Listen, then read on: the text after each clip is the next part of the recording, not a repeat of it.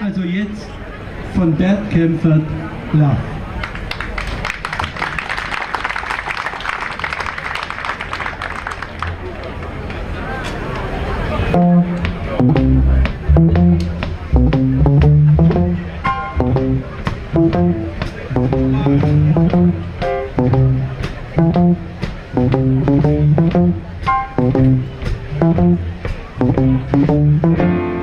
Thank